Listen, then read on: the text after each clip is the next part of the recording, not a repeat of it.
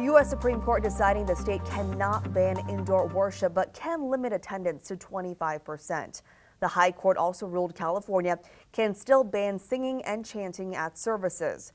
These rulings come after two churches sued over restrictions.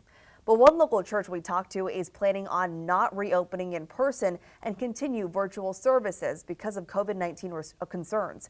ABC 10's Barbara Bingley has a closer look. We define worship more than just being in physical presence with one another.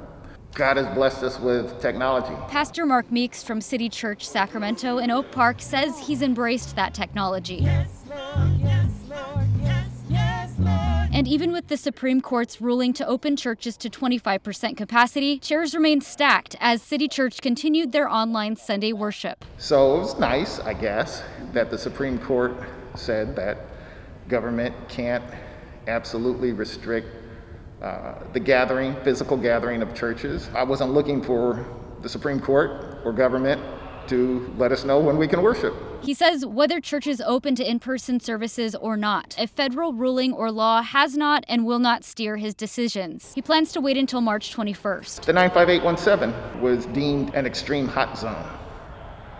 How wise would that be for us to gather?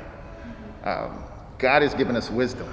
And we plan on using God's wisdom and the information from uh, healthcare providers uh, to, to help us frame our decision. While he says he looks forward to the day he can see his congregants face to face, he's not in a hurry. Just because we can come together doesn't mean we should come together physically.